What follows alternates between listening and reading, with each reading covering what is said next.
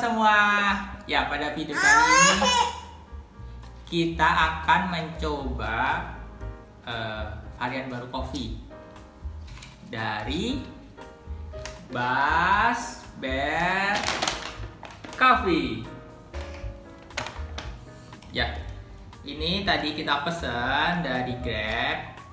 Yang satu adalah espresso cheese, yang satu lagi milk coffee. Nah, Bas Bear ini menggunakan gula aren yang varian ini ya. Makanya kita mau coba nih rasanya seperti apa. Ya tuh, bungkusannya ada bearnya nih. Di sini juga nih. Nah, di sini ada ininya nih. Ada keterangannya nih, Bas Bear Coffee is inspired by the Malayan Sun Bear.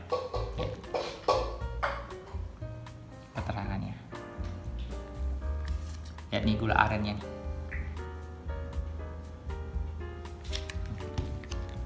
Yang ini less sugar lebih sedikit. Gula arennya. Oke, tanpa basa-basi langsung kita cocol aja ya, kita coba ya. Kita coba yang yang coffee nih, ini half sugar nih.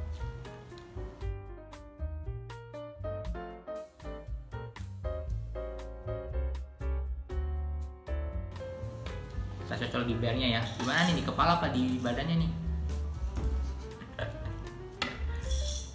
Weh, kok nggak bisa? Kan itu strawnya dari karton, bukan plastik. Hmm, gula arennya kerasa banget. Mantap. Menurut aku, kopi kalau dikasih dengan gula aren itu rasanya tuh lebih strong, lebih mantep daripada yang menggunakan gula biasa. Ini yang di coffee, kita coba yang yang cheese ya. Coba yang cheese. Sedotannya ganti lah. Oh, Nanti iya. merusak rasa. Oke, ganti ganti sedotan ya. Biar halal. Biar halal. Biar apa? Biar netral.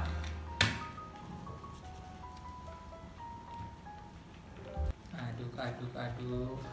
Nih gula arennya lebih banyak. Ini cara ngaduknya salah sih, harusnya dikocok dari pakai ininya.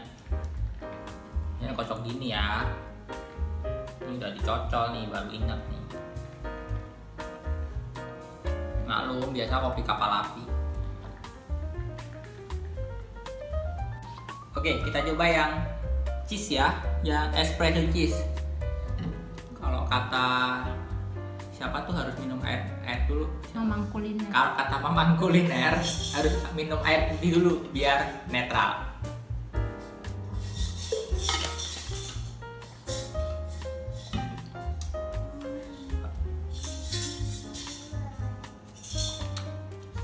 Hmm. Aku sedikit menyesal. Gula arennya tadi minta sedikit. Ini gula arennya strong banget. Kopinya juga nggak kalah strong sama gulanya ya.